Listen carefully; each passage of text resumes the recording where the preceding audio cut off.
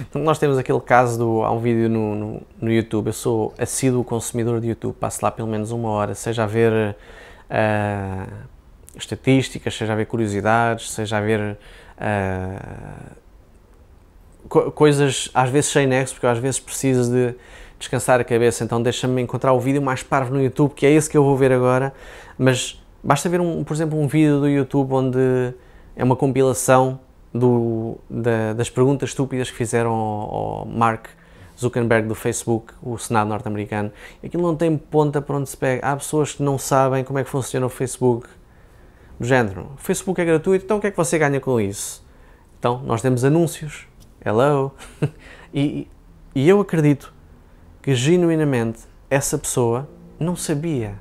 Ou, ou se calhar fez-te burra, o que também é bastante fácil, não é? Mas as pessoas podem não saber. Há pessoas que não sabem distinguir, e isto é verdade e é preocupante. Há pessoas que não sabem distinguir no Facebook um post patrocinado de um post orgânico.